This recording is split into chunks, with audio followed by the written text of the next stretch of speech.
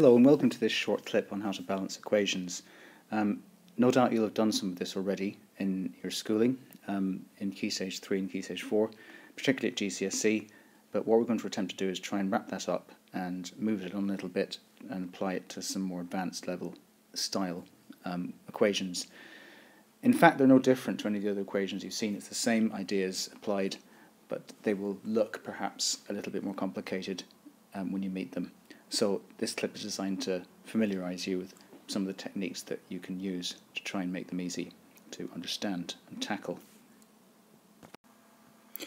So let's take a simple example. At this time we're going to look at uh, sodium metal reacting with oxygen to make sodium oxide. You'll notice that the big numbers to the left of each of the um, formulae are printed in bold. There's a reason for that because they're called balancing numbers. Balancing number is quite important in, in balancing equations because it tells you how many times each, um, each species has to be multiplied by. We sometimes call a species a formula unit if we're talking about an equation. So we could have Na2O is the formula unit for sodium oxide, Na is the formula unit for sodium, and 2O2, sorry, O2 on its own, I beg your pardon, is the formula unit for oxygen gas.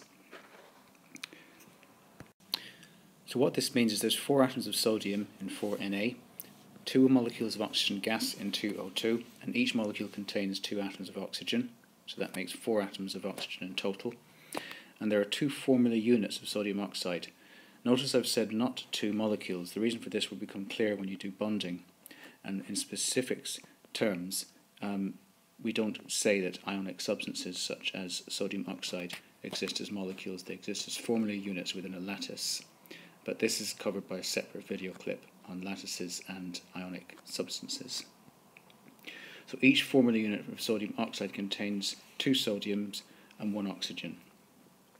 So this equation is balanced because we've used ba balancing numbers in bold to actually make sure that everything's multiplied up by the correct amount on each side. So this is the essential technique for balancing equations. You have to use balancing numbers what you can't change is the number of atoms in an oxygen molecule, so you couldn't suddenly make it O4 or O3 or O5, for example, and you couldn't suddenly change sodium oxide to Na3O or Na4O. They have to be fixed in this particular proportion. So it's important to remember, always use balancing numbers to balance equations.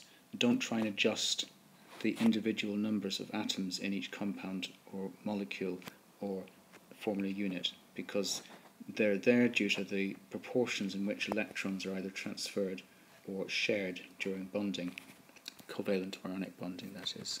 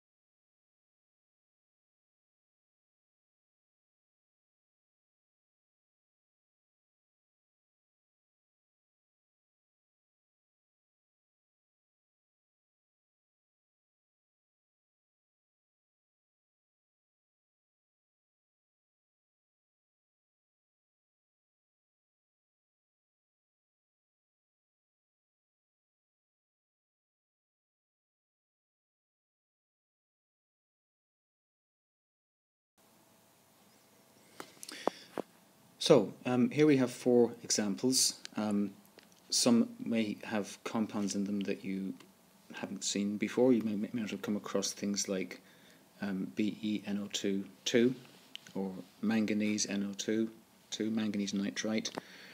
Um, it doesn't matter, it's exactly the same technique as before, um, except this time uh, some of the species, some of the formula units are a little bit more complex. So you'll notice I've put some tips up at the top, what we've just talked about. Um, I've also said about the most complicated looking formula unit. That usually has the greatest influence somewhere else, or elsewhere in the equation, so that's the place to start. So let's do the first one together, and then I'll leave you to pause the video clip and see if you can work out the remainder before playing it again to see if you got it right. So we've got uh, lead nitrate as the most complicated formula unit. What I mean by complicated really is the largest one. All the others are slightly more simple. You can also see that I corrected the number of lead atoms. The, the hawk-eyed amongst you might have spotted that I put two leads. That wasn't direct uh, or deliberate mistake. Um, so I put my hands up here and I say that was a slight oversight on my part. We've got one lead we've got two nitrogens and we've got six oxygens. So we've done a count of everything that's there. So now what we can do is start to assign balancing numbers elsewhere. Well, we only have one lead, so we don't have to assign another balancing number to the lead oxide because to do so would be to multiply up the lead oxide too many times. What's interesting though is there's two nitrates and there's only one nitrate over on sodium nitrate on the far left. So we can safely say that we can double up the sodium nitrate on the left. And by doing that, we've not only balanced the nitrates, but we've also balanced the sodium. So now we can quick do a quick check to see if there's the same number of each atom on each side. So by doing a quick count of everything on both sides, you can see that the sodiums have been balanced, the nitrogens have been balanced, and the oxygens have been balanced, and in addition the lead has been balanced. So now it's a good idea to pause the video clip and see if you can use that technique on the other three. First of all identify where the most complicated or largest formula unit is and see if you can spread out where it affects other species elsewhere in the equation. So we pause the video, come back to it when you've finished and we'll see if we agree. So hopefully this uh, these versions agree with yours. Uh, I did throw one in that already had balancing done, just to test you out, see if you're still awake. Um, they probably won't do that in an exam, but they're likely to do ones of a similar standard to the ones you see in front of you. So it's worth going online, maybe finding some worksheets of uh, balancing equations. There's tons of them about. Some of you have the answers on them, and going and practicing some, or maybe going to the textbook and trying some of your own.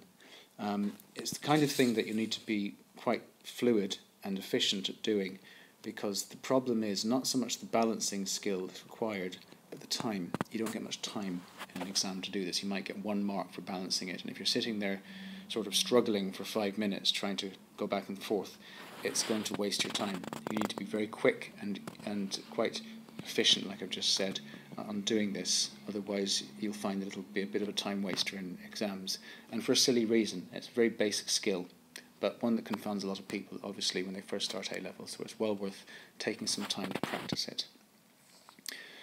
Okay, so hopefully you found this clip useful. Um, please do go away and try some, and take them to your teacher, take them to subject extensions if you need to. Uh, but in the meantime, thanks for your time, thanks for listening, and uh, see you soon. Bye.